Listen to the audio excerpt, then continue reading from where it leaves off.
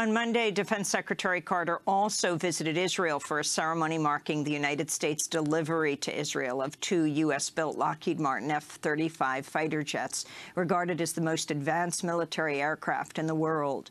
Israel now becomes the only country outside the United States to have operational F-35 fighter jets. This is Secretary Carter speaking Monday at the Nevatim Air Base in the southern Negev Desert, Israel's desert.